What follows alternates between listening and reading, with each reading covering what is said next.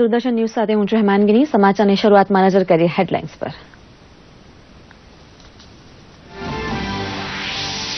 અમદાવાદમાં આઠમી વિશ્વ આયુર્વેદ કોંગ્રેસનો પ્રારંભ કરાવતા મુખ્યમંત્રી વિજયભાઈ રૂપાણી.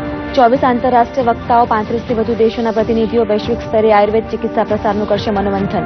મુખ્યમંત્રીએ શારસૂત્ર ઓટોમેટિક મશીનનું ડિજિટલી કર્યું લોકાર્પણ.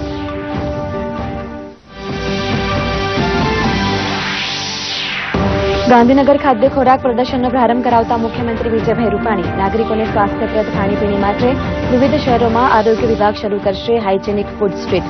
લગ્ન પ્રસંગો અને જાહેર કાર્યક્રમોમાં ભોજન માટે અદ્યતન ટેકનોલોજી આધારિત ઓટોમેટિક મશીનના ઉપયોગ પર મૂક્યો ભાર. સ્ટેચ્યુ ઓફ યુનિટી પાસે સર્જાશે પુષ્પનગરીનો અદભુત નજારો. ભારત વન ખાતે ફ્લાવર શોનો આજથી થશે પ્રારંભ. આવતીકાલે સરદાર સાહેબની પુણ્યતિથિએ રાષ્ટ્રપતિ Ramnath Kovind statue of unity ખાતે શ્રદ્ધાંજલિ કરશે અર્પણ. રેલવે મંત્રી પિયુષ ગોયલ પણ રહેશે ઉપસ્થિત.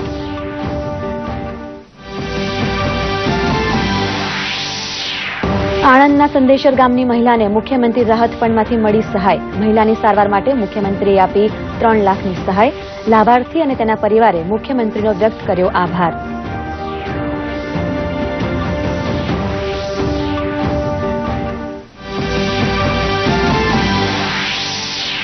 રાફેલ ડીલ મુદ્દે કેન્દ્ર સરકારને મોટી રાહત રાફેલ ડીલ પર તપાસની માંગ કરતી તમામ અરજીઓ સુપ્રીમ કોર્ટે ફગાવી કહ્યું જેટની ગુણવત્તા સામે કોઈ સવાલ નહીં આ મામલે ભાજપા અધ્યક્ષ અમિત શાહે પત્રકાર પરિષદ યોજી જણાવ્યું કે અમે સંસદમાં આ મુદ્દે ચર્ચા કરવા તૈયાર.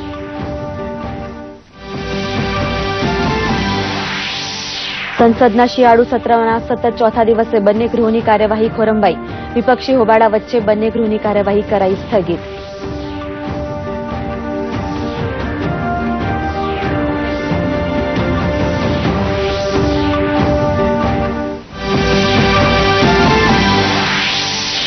મધ્યપ્રદેશના નવા મુખ્યમંત્રી તરીકે કમલનાથ સોમવારે લેશે શપથ.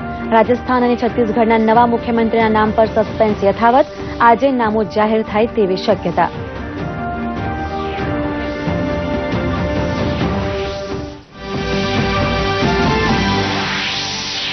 અને કારોબારી અઠવાડિયાના છેલ્લા દિવસે માર્કેટ સ્થિર. સેન્સેક્સ તેત્રીસ પોઈન્ટના ઉછાળા સાથે પાંત્રીસ હજાર નવસો બાસઠ પર, જ્યારે નિફ્ટી તેત્રીસ પોઈન્ટના ઉછાળા સાથે દસ હજાર આઠસો પાંચ પર રહ્યો બંધ. સમાચાર વિસ્તારથી જોઈએ મુખ્યમંત્રી વિજયભાઈ રૂપાણીએ ખાદ્ય ખોરાક પ્રદર્શનીનું ગાંધીનગરમાં ઉદઘાટન કરતા જાહેર કર્યું કે નાગરિકોને સ્વાસ્થ્યપ્રદ ખાનપાન અને વાનગીઓ મળી રહે તે હેતુથી રાજ્યના નગરો, મહાનગરોમાં સ્થાનિક સત્તાતંત્રો અને રાજ્યના આરોગ્ય વિભાગના ફૂડ સેક્રેટરી તંત્રના સહયોગથી હાઇજેનિક ફૂડ સ્ટ્રીટ શરૂ કરવામાં આવશે.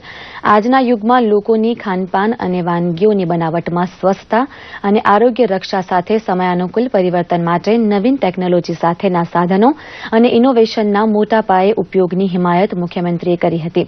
આ સંદર્ભમાં તેમણે લગ્ન સમારોહ, મેળાવડાઓ, જાહેર સમારંભોમાં આવી અદ્યતન ટેકનોલોજીનો ઉપયોગ કરી હ્યુમન ટચને સ્થાને ઓટોમેટિક મશીનોના વપરાશ પર ખાસ ભાર મૂક્યો હતો. તેમણે સૌથી ગ્લોબની થીમ સાથે યોજાયેલું આ પ્રદર્શન ગુજરાતની વાનગીઓ સાથે ભારતભરની સ્વાદિષ્ટ ખાનપાન ચીજ વસ્તુઓને વિશ્વ સમક્ષ રસથાળ રૂપે પ્રસ્તુત કરશે એવો વિશ્વાસ વ્યક્ત કર્યો હતો. બે હજાર કરતાં વધારે મશીનરીઝ તમને અહીંયા જોવા મળશે. વિવિધ પ્રકારની, વિવિધ સાઇઝની વિવિધ કેપેસિટીની આ મશીનરીઓ સમગ્ર ભારતમાંથી આવી છે. અને આજે ત્રણ તો એ એકદમ ઇનોવેટિવ મશીન્સ અહીં લોન્ચ થયા છે અને અનેક બીજા મશીનો, નાના મોટા મશીનો અહીં મુકાયા છે, જે આવનારા સમયમાં ખાદ્ય ઉદ્યોગમાં એક મોટી ક્રાંતિ લાવનારા છે. આમાં એક પ્રોસીજર હોય છે ડાર્ક ચોકલેટ અને ગ્લુકોઝ સિરપ મિક્સ કરીએ, એટલે એક માટી જેવો ડો બની જાય છે, એમાંથી જે મૂર્તિનો આકાર આપવો હોય, એ તમે આપી શકો. અમદાવાદમાં આજે Gujarat university convention and exhibition centre ખાતે આઠમો વિશ્વ આયુર્વેદ મહાસંમેલન અને આરોગ્ય એક્સપોનું મુખ્યમંત્રી વિજયભાઈ રૂપાણીના હસ્તે ઉદઘાટન કરવામાં આવ્યું. વૈશ્વિક ફલક પર આયુર્વેદની ભારતીય સંસ્કૃતિ અને તેની અસીમ શક્તિઓને ઉજાગર કરવાના ભાગરૂપે સમારોહનું આયોજન કરાયું હતું. આ વિશ્વ આયુર્વેદ મહાસંમેલન અને આરોગ્ય એક્સપોમાં બત્રીસ દેશોના ત્રણસોથી વધુ આંતરરાષ્ટ્રીય પ્રતિનિધિઓ મળી, ચાર હજારથી વધુ દેશ વિદેશના પ્રતિનિધિઓ અને મહાનુભાવો ખાસ હાજરી આપી રહ્યા છે. આયુષ મંત્રાલય અને ગુજરાત સરકારના સહયોગથી વર્લ્ડ આયુર્વેદ ફાઉન્ડેશન દ્વારા આયોજિત આયુર્વેદ કોંગ્રેસ અને આરોગ્ય એક્સપો સત્તર ડિસેમ્બર સુધી ચાલશે મુખ્યમંત્રીએ સંબોધન કરતા આયુર્વેદના મહત્વને સમજાવ્યું હતું धरती पर ईट राइट इंडिया स्वस्थ भारत मेले के माध्यम से स्वस्थ भारत की कामना की गई थी आज सुबह ही खाद्य खुराक प्रदर्शन का भी उद्घाटन किया गया, जिसमें खुराक के माध्यम से लोगों की अन्न सुखाकारी का पथ प्रज्वलित किया गया। यहाँ आठवीं वर्ल्ड आयुर्वेद कांग्रेस का यह अवसर लोगों को आरोग्य की दिशा में ले जाने का उपयुक्त माध्यम बना बना है। इन तीनों कार्यक्रमों के चलते गुजरात स्वच्छता, सुखाकारी और आरोग्य का त्रिवेणी संगम बना है। प्रधानमंत्री जी की अति आवश्यकता वाले चार प्राथमिकता के क्षेत्रों में आयुष का शामिल है। प्रधानमंत्री जी की आयुर्वेदिक अहमियत को ध्यान में रखते हुए मोदी जी की सरकार ने आयुर्वेदिक योग और अन्य आयुष पद्धतियों को सार्वजनिक स्वास्थ्य व्यवस्था के साथ संयोजित करने का भी निर्धार किया है। इतना ही नहीं, प्रधानमंत्री जी ने सरकार ने राष्ट्रीय आरोग्य नीति निर्माण के समय स्वास्थ्य सेवा और आयुष्य आयुष पद्धति के संयोजन के लिए भी नियम भी बनाए और मार्गदर्शिकाएँ भी बनाई। વડોદરામાં નિર્માણ પામેલી દેશની સૌપ્રથમ રેલવે યુનિવર્સિટીનું લોકાર્પણ આવતીકાલે બપોરે થવાનું છે. આ પ્રસંગે કેન્દ્રીય રેલમંત્રી પિયુષ ગોયલ અને મુખ્યમંત્રી વિજયભાઈ રૂપાણી ઉપસ્થિત રહેશે. આ યુનિવર્સિટી વડોદરામાં લાલબાગ ખાતે આવેલી છે. કેન્દ્ર સરકારના રેલવે મંત્રાલયે યુનિવર્સિટીના માળખાકીય વિકાસ માટે પાંચ વર્ષના પ્રોજેક્ટ અંતર્ગત ચારસો કરોડ રૂપિયાની ફાળવણી કરી છે. આ રેલવે યુનિવર્સિટીમાં બીએસસી ઇન ટ્રાન્સપોર્ટેશન મેનેજમેન્ટના અભ્યાસક્રમો શરૂ કરવામાં આવ્યા છે. આ લોકાર્પણ પ્રસંગે વડોદરા મહાનગરના મેયર ડોક્ટર જિગીશાબેન શેઠ તેમજ સાંસદ રંજનબેન ભટ્ટ અને ધારાસભ્ય ઉપસ્થિત રહેશે. આણંદ જિલ્લાના સંદેશર ખાતે અકસ્માતમાં ગંભીર રીતે ઘાયલ થયેલા મોનિકાબેનને મુખ્યમંત્રી રાહત ફંડમાંથી તબીબી સારવાર માટે રૂપિયા ત્રણ લાખની સહાયનો ચેક અર્પણ કરાયો છે. મોનિકાબેન સંદેશરથી નોકરી હેતુ વિદ્યાનગર જતા હતા. આ સમયે અકસ્માત થતાં તેમને એકસો આઠની મદદથી આણંદ ખાતેની હોસ્પિટલમાં પહોંચાડાયા હતા. મોનિકાબેનને માથાના ભાગે ઈજા થતાં મોટો આકસ્મિક ખર્ચ આવી જતા પરિવાર પર જાણે આભ તૂટી ગયું હતું. આ પરિવાર તેમની સારવાર કરાવી શકે તે માટે સક્ષમ ન રહેતા ગામના મિત્રોએ તેમને શક્ય તેટલી મદદ કરી હતી. આ સારવારમાં છ માસ જેટલો સમય થયો હોવાથી પરિવારની આર્થિક સ્થિતિ કથળવા માંડી હતી. વધુ સહાય માટે મુખ્યમંત્રીને રજૂઆત કરતા મુખ્યમંત્રી રાહત ફંડમાંથી તેમને ત્રણ લાખની સહાય મંજૂર કરવામાં આવી હતી. જિલ્લા કલેક્ટર શ્રી દિલીપ રાણાએ આ સહાયનો ચેક મોનિકાબેનને મળે તે માટે ગઈકાલે આણંદ ગ્રામ્ય મામલતદારશ્રીને સંદેશર ગામે રૂબરૂ મોકલી આપ્યો હતો, જે આણંદના ગ્રામ્ય મામલતદાર શ્રી નાયકે સંદેશર ગામે રૂબરૂ જઈને રૂપિયા ત્રણ લાખનો ચેક મોનિકાબેનને ગામના સરપંચ અને આગેવાનોની હાજરીમાં અર્પણ કર્યો હતો. આ સહાય મળતા મોનિકાબેન અને તેમના પરિવારે આનંદની લાગણી વ્યક્ત કરી હતી અને મુખ્યમંત્રીશ્રીનો આભાર માન્યો હતો. અગાઉ પાંચેક મહિનાથી એમને એક્ટિવામાં એક્સિડન્ટ થયેલું. એટલે આ લોકોએ માંગણી કરેલી માન્ય મુખ્યમંત્રી શ્રીના રાહત ફંડમાંથી. ખાસ ખિસ્સા તરીકે સરકાર શ્રીના બાર આઠ પત્રથી, અઢારના પત્રથી મંજૂર થતાં મહેરબાન કલેક્ટર સાહેબના સત્તાવીસ અગિયારના પત્રોથી અમોને ત્રણ લાખનો ચેક અત્રે મોકલતા સદર ચેક અમે અમારા ખાતામાં નાખી આજ રોજ અમારા ખાતામાંથી ચેક ત્રણ લાખનો રૂબરૂ હું સ્થળે જઈ અને ગામના સરપંચ અને આગેવાનોના રૂબરૂ એમને મેં અર્પણ કર્યું છે. મારા ભાઈ એક્ટિવા લઈને જતા હતા એક્સિડન્ટ થયેલો. મુખ્યમંત્રીના રાહત ફંડમાંથી મને સહાય મળી છે ત્રણ લાખ રૂપિયાની. તે રાહત મળી છે તો મને બહુ રાહત થઈ ગઈ છે ખર્ચા મને બધામાં. તો મુખ્યમંત્રીશ્રીનો પણ આભાર માનું છું. આજે સતત ચોથા દિવસે શેર બજારમાં તેજી જોવા મળી હતી. વિદેશી બજારોમાં મિશ્રિત સંકેતો વચ્ચે રોકાણકારોએ કેટલાક નિશ્ચિત શેરોમાં ખરીદ વેચાણ કરી હતી. આજે સેન્સેક્સની શરૂઆત મજબૂતાઈ સાથે થઈ હતી. આજે Bharti Airtel, Asian Paints, Yes Bank, Tata મોટર્સના શેરોએ મજબૂત કારોબાર કર્યો હતો, જ્યારે અદાણી પોર્ટ્સ અને કોલ ઇન્ડિયાને શેરોમાં નરમાશ આવી હતી. દિવસના અંતે સેન્સેક્સ તેત્રીસ અંકની મજબૂતાઈ સાથે પાંત્રીસ હજાર નવસો બાસઠ પોઈન્ટ ત્રાણું, જ્યારે નિફ્ટી તેર અંક મજબૂત રહી દસ હજાર આઠસો પાંચ પોઈન્ટ પિસ્તાલીસ અંક પર બંધ રહ્યો હતો.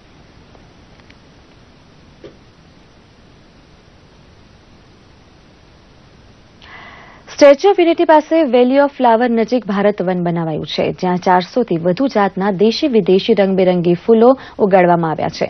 આ પુષ્પનગરીનો સુંદર નજારો આજે સાંજે ચાર વાગ્યાથી પ્રવાસીઓ નિહાળી શકશે. સ્ટેચ્યુ ઓફ યુનિટી નજીકથી હેલીપેડ દૂર કરીને ભારત વન ઉભું કરાયું છે, જેમાં ફ્લાવર શોનું આયોજન વન વિભાગ દ્વારા કરાયું છે. આજે મહારાષ્ટ્ર રાજ્યના રોજગાર ગેરંટી યોજના અને પ્રવાસન વિભાગના મંત્રી જયકુમાર રાવલે મુલાકાત લીધી હતી. આવતીકાલે સ્ટેચ્યુ ઓફ યુનિટીની મુલાકાતે આવનારા દેશના રાષ્ટ્રપતિ રામનાથ કોવિંદ પણ આ ફ્લાવર શો નિહાળશે. વોક થ્રુ ફ્લાવર શો પર તેઓ નિહાળવાના છે.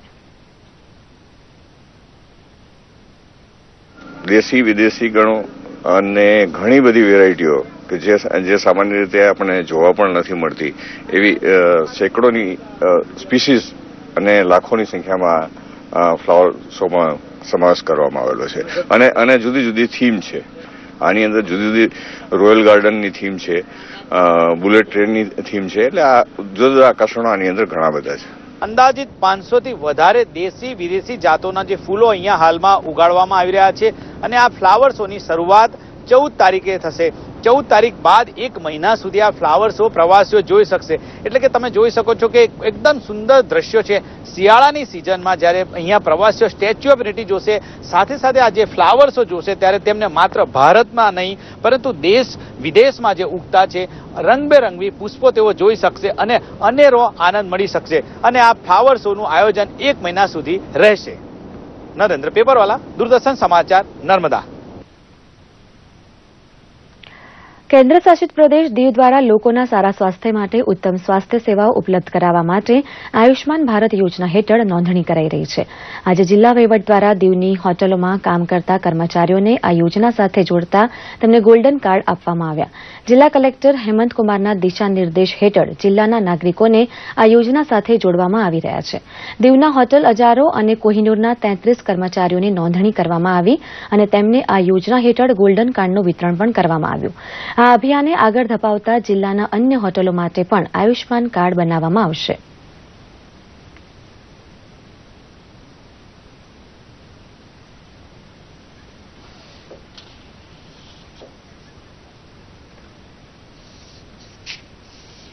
હોટલમાં જે વર્કરો અબાવ એટલે કે છ મહિનાથી વધારે રહે છે એને આ લાભ અને અમે અહીં આવી એનરોલમેન્ટ કરી અને એ લોકોને અમે લાભ આપેલો છે અને આવી જ રીતે અમે દીવની હોટલમાં બીજી હોટલોમાં પણ આ લાભ આપવા જઈ રહ્યા છે आयुष्मान भारत प्रधानमंत्री जी ने जो योजना लागू करी है स्वस्थ स्वस्थ भारत के लिए उसके लिए सारे स्टाफ ने हमारे यहाँ पे कार्ड बनवाए जो छह महीने से काम कर रहे हैं हमारे यहाँ उससे पहले से जो काम कर रहे हैं वो सभी स्टाफ ने आज अपने अपने कार्ड अपने परिवार के साथ यहाँ पे बनवाए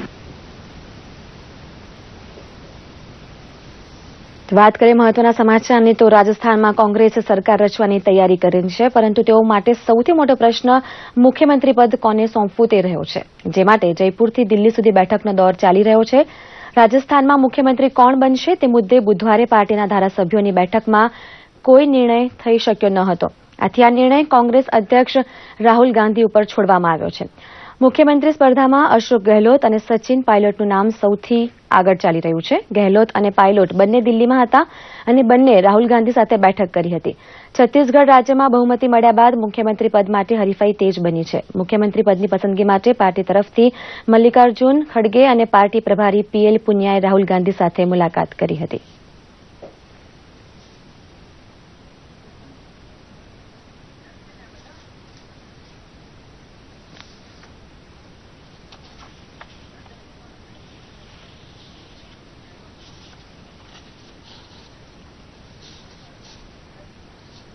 તો રાજસ્થાનમાં મુખ્યમંત્રી તરીકે અશોક ગહેલોત નક્કી કરાયા છે અને ડેપ્યુટી સીએમ તરીકે સચિન પાયલટનું નામ નક્કી કરાયું છે. ભારત સરકારના વિજ્ઞાન અને પ્રૌદ્યોગિકી વિભાગના ઉપવિભાગ રાષ્ટ્રીય વિકાસ પરિષદ દ્વારા રાષ્ટ્રીય શિક્ષણ વિજ્ઞાન પરિષદ અમદાવાદમાં યોજાઈ રહી છે.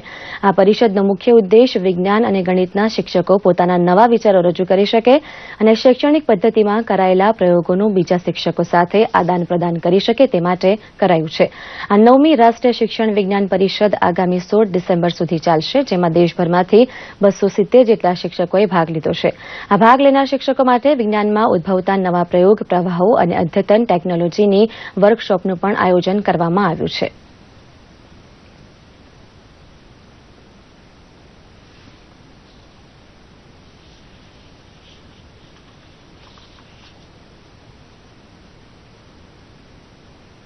દેશભરમાંથી ચારસો સાડા ચારસો જેવા ટીચર્સ અહીંયા આવ્યા છે અને એજ્યુકેશન ને લગતા જુદા જુદા વિષયો ઉપર ચર્ચા કરવાના છે.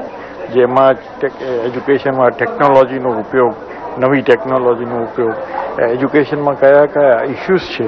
વોકેશનલાઇઝેશનનો છે, કે साइंस टीचिंग के बीजा सब्जेक्ट्स ये बदा ऊपर जुदा जुदा सेशन्स में चर्चा करवाना है છે અને ये लोग सरकार एक प्लेटफॉर्म दिया जाता है जहाँ टीचर्स जो science teachers of irrespective of their subject background कि साइंस कम्युनिकेशन और एजुकेशन को कैसे क्रिएटिव बनाए, कैसे इनोवेटिव बनाए, कैसे अपने आइडियाज़ को शेयरिंग करें।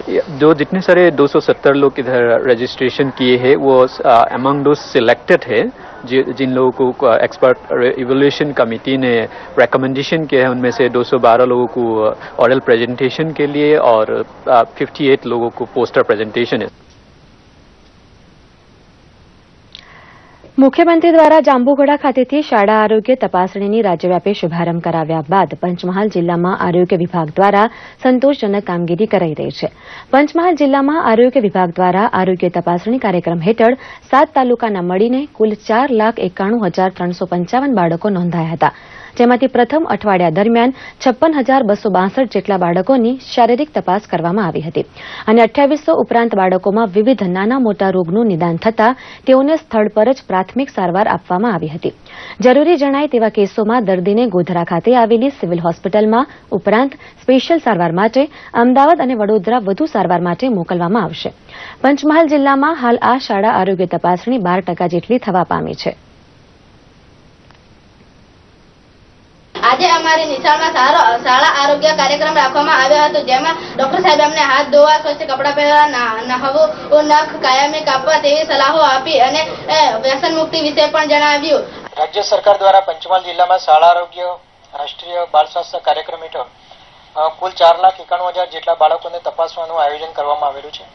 અત્યાર સુધીમાં છેલ્લા બે અઠવાડિયામાં છપ્પન હજાર જેટલા બાળકોને આરોગ્યની ટીમ મારફતે તપાસવામાં આવ્યા છે. અને એમાંથી એકસો ચોસઠ જેટલા બાળકો સંદર્ભ સેવા પાત્ર બાળકો છે.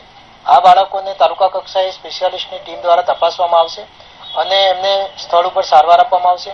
આરોગ્ય તપાસ બાળકોની આરોગ્ય તપાસ કરવામાં આવી રહી છે. જેમાં દરેક બાળકોનું screening head to toe body પ્રમાણે તપાસ કરવામાં આવે છે. અને આરોગ્ય પત્રકમાં આપેલા બાવીસ ક્વેશ્ચનો દરેક બાળકોને પૂછી અને એના ખામી ખામીવાળા બાળકોની તપાસણી કરી એમને સ્થળ પર ટ્રીટમેન્ટ કરવામાં આવે છે.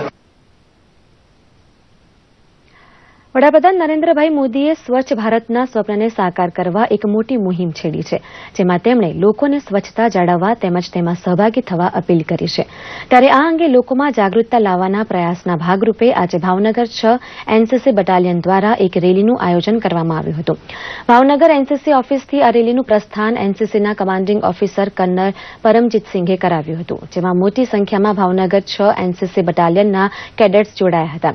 આ રેલી વિવિધ વિસ્તારોમાં બેનરો સાથે ખુલ્લા શૌચ મુક્ત બનવા અને બનાવવા આહવાન કર્યું હતું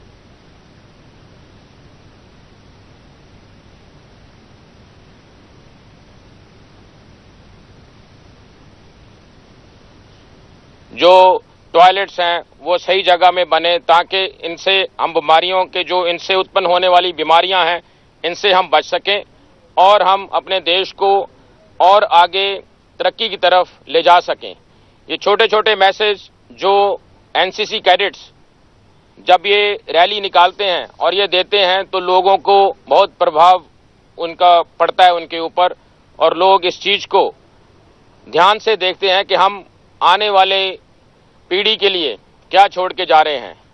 और इसके साथ पुलिस का पीसीआर वैन भी है जो हमें मदद करेगा ट्रैफ़िक और बाकी कंट्रोल में।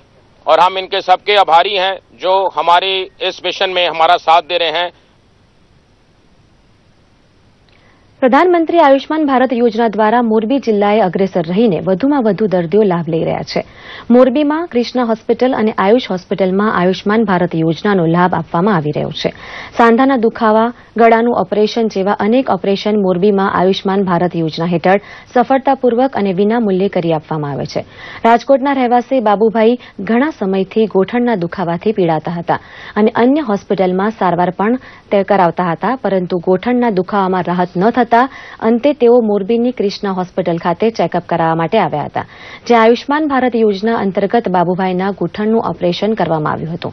હાલમાં તેઓની તબિયત એકદમ સારી છે. હોસ્પિટલના તબીબ ડોક્ટર વિનોદભાઈ કૈલાએ વધુમાં વધુ દર્દીઓને આ યોજનાનો લાભ લેવા માટે અપીલ કરી છે. અંદાજિત ખર્ચ દોઢથી બે લાખ સામાન્ય રીતે થતો હોય છે, જે સંપૂર્ણ ફ્રી કરી આપેલ છે. ગરીબ અને જરૂરિયાતમંદ દર્દીઓને મારી વિનંતી કે આ યોજનાનો મેક્સિમમ લાભ લઈ અને તદ્દન ફ્રીમાં ઓપરેશન તેમજ સારવાર કરાવે. કાલે મારું ઓપરેશન હતું. બહુ સારું કામ કરે છે. આજે મને કોઈ જાતનો દુખાવો નથી. આયુષ્માન ભારતની યોજના મુજબ નીચે અમે કામ કરાવ્યું બધું.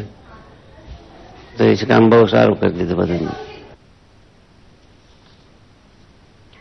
અરવલ્લી જિલ્લાના માલપુરમાં મોટી સંખ્યામાં ખેડૂતો ટેકાના ભાવે મગફળીના વેચાણ માટે પહોંચી રહ્યા છે.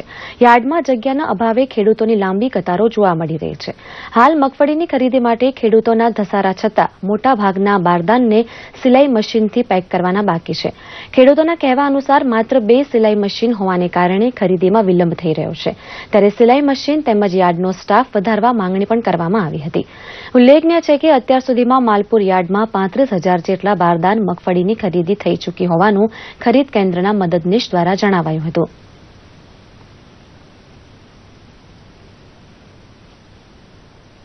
ખેડૂતોનો જે મગફળી લેવામાં આવતી હોય છે એ અંદાજે અમે પચાસથી સાઠ ખેડૂતોનો માલ લઈએ છીએ.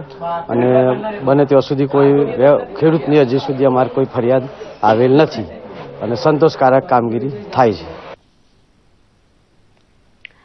સુરતનું જમણ વખણાય છે. સ્વાદના શોખીનો અવનવા વ્યંજનો માટે સુરત આવતા હોય છે.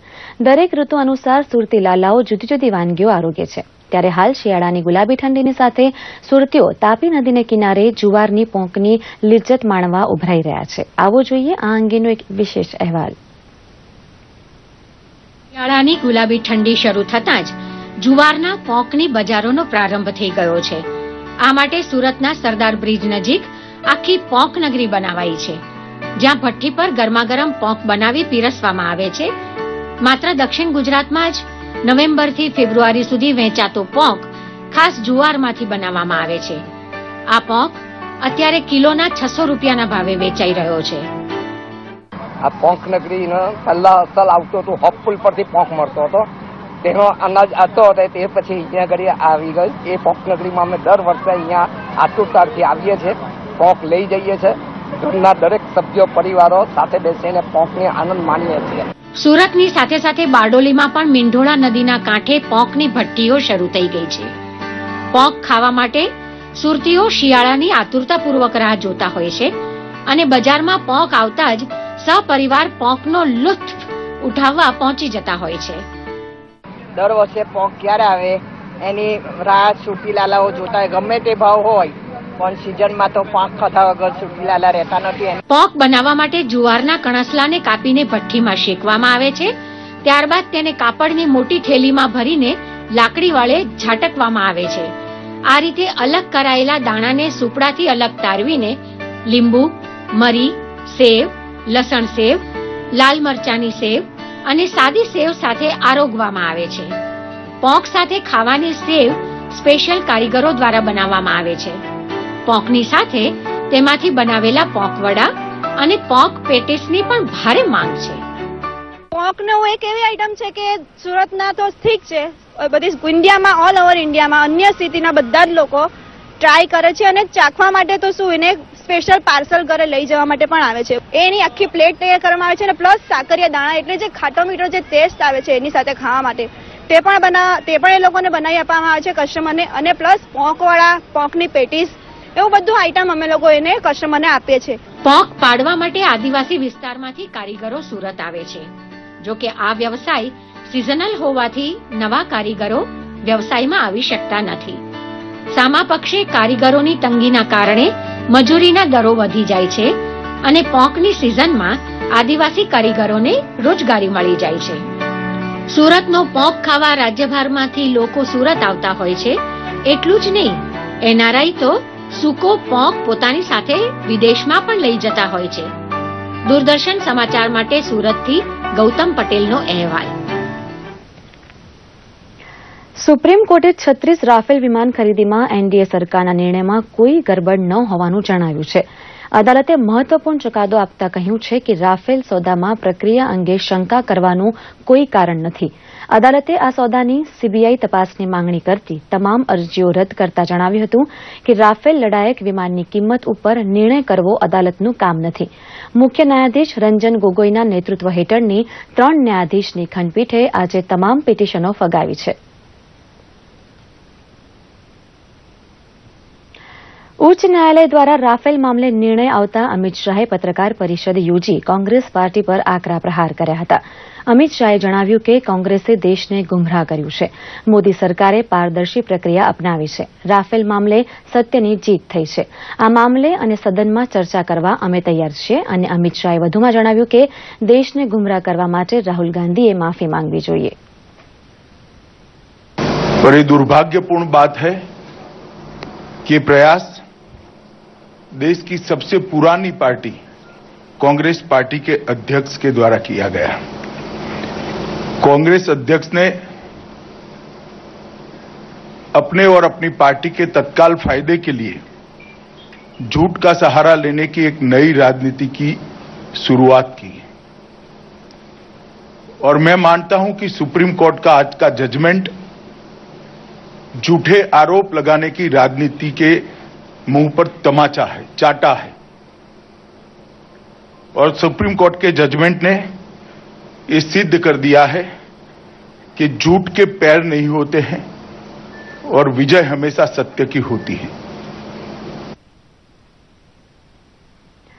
સંસદના શિયાળુ સત્રનો આજનો દિવસ બંને ગૃહમાં ધાંધલ ધમાલવાળો રહ્યો હતો આજે સુપ્રીમ કોર્ટમાં રાફેલ સોદા મુદ્દે ચુકાદો અપાયા બાદ તે અંગે સંસદના બંને ગૃહમાં પડઘા પડ્યા હતા આ અંગે ગૃહમાં બોલતા અનુરાગ ઠાકુરે કહ્યું હતું કે કોંગ્રેસે રાફેલ મુદ્દે જનતાને ભ્રમિત કરી હતી. જ્યારે નાણામંત્રી અરૂણ જેટલીએ સંસદમાં રાફેલ મુદ્દે ચર્ચાની માંગ કરી હતી.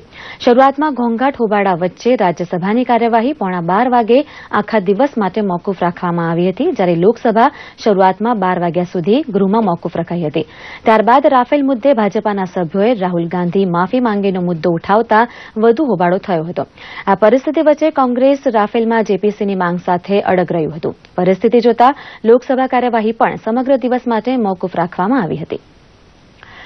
બે દિવસની ભારે ઉથલપાથલ બાદ કોંગ્રેસે મધ્યપ્રદેશની કમાન કમલનાથને સોંપવાનો નિર્ણય કર્યો છે.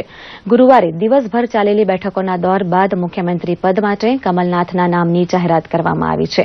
કમલનાથ સોમવારે મુખ્યમંત્રી પદના શપથ લેશે. આ પ્રસંગે કમલનાથે કહ્યું કે, કોંગ્રેસે ઘોષણાપત્રમાં જે પણ વચન આપ્યા છે પૂરા કરશે.